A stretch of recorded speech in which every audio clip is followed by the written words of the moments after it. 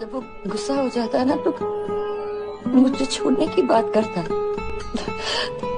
पर जब उसका गुस्सा ठंडा हो जाता है ना तो वो मेरे साथ दुनिया छोड़ने की बात करता है। बुद्धू है वो, पागल। उसे ना समझ ही नहीं आता कि कि उसके लिए क्या अच्छा है और क्या बुरा। गुस्से में रिश्ता तोड़ने की बात करता है। ese, ese es.